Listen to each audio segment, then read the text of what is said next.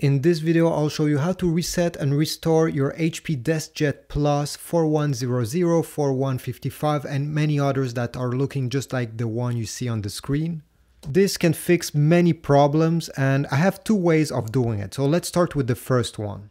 Make sure that your printer is plugged and now you're gonna press the X button that is on the left and the Wi-Fi button both at the same time for at least 15 seconds. After that, you're gonna see the power button flashing and this will mean that you succeeded. Now, if this didn't fix your problem, I have a second solution.